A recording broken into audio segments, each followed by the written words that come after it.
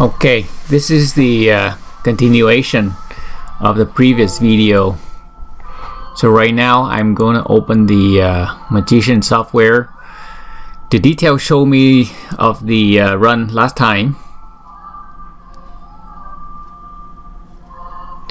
In here, I can see that I have Magician 4.1.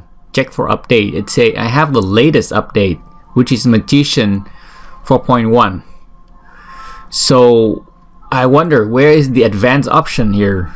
Um, so I go to the internet and search and voila I found version 4.5 so this is really a bug in the software. There is a new version on the on the website and in the software it says I'm up to date.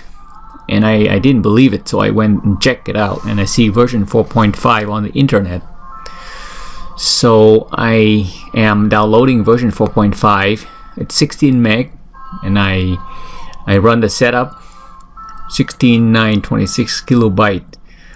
Um, so I just wanted to extract this software program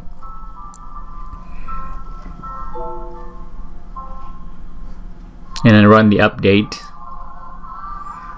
So it said that I have version 4.1 in there already. Do you want to override it? I say yes. I want to override the previous version the previous installation. That's okay.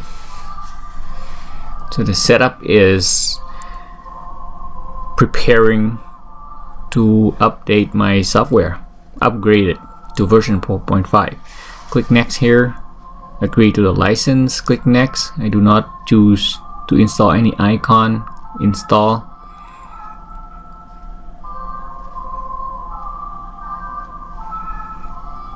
So now on my computer I have version 4.5 going. I launched the Magician software. So there you go. The advanced feature is there where I can set the rapid mode and data security that's what I'm looking for. So I click rapid mode. I can see that it detects my SSD drive. SSD is not yet enabled. Uh, sorry, the rapid mode is not yet enabled. I can enable it. I click enable and it warned me to uh, reboot my computer. I click OK and the rapid mode is being enabled right now. And then now I'm going to restart this computer